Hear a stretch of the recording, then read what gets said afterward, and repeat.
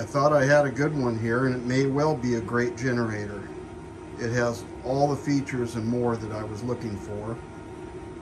I mean, you know, it's a, it's a dual fuel. Um, it's got the power output. This display on here is outstanding. It's got all the pertinent information, including uh, the output in kilowatts. Uh, it's even got a battery maintainer built into it. I've got it plugged in right now. What it doesn't have is any type of wiring diagram, parts listing, or part schematic.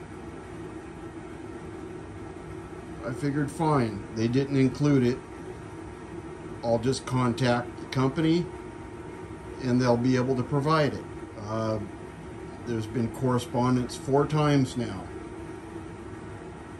And this last time they tried to tell me it's a common practice for manufacturers not to release any parts listing or parts diagram or wiring schematic.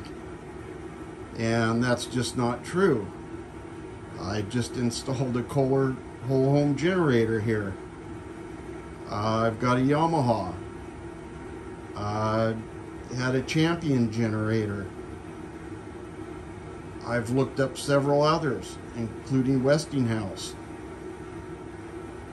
They all either include the parts diagram and wiring diagram with the owner's manual, or it's accessible online, or you can get it upon request.